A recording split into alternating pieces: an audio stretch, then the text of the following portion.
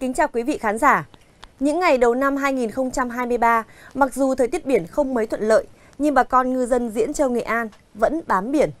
Dù đánh bắt gần bờ, nhưng nhiều tàu cá của bà con vẫn trúng đậm ghẹ biển. Tại cảng cá Lạch Vạn lúc nào cũng nhộn nhịp cảnh mua bán hải sản.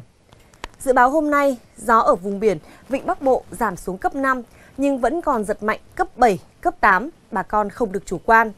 Gió cấp 5 sẽ duy trì đến hết ngày mai, từ ngày mùng 6 tháng 1, gió sẽ mạnh trở lại. Trong khi đó, sóng gió ở vùng biển ven bờ từ Quảng Ngãi xuống đến Cà Mau, ra giữa Biển Đông và phía tây của huyện đảo Trường Sa, hôm nay tiếp tục cảnh báo gió mạnh cấp 6, giật cấp 7, cấp 8, độ cao sóng là từ 2 đến 4 mét biển động.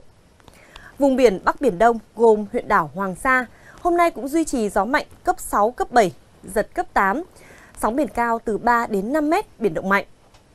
Trái lại, thời tiết ở vùng biển phía Nam, từ Cà Mau đến Kiên Giang, gồm quần đảo Phú Quốc, Thổ Chu, hôm nay vẫn khá là tốt, trời ít mưa, nắng nhiều, tầm nhìn xa thoáng rộng trên 10 km, gió thổi đều cấp 3. Bản tin của chúng tôi xin được kết thúc tại đây. Kính chào và hẹn gặp lại quý vị.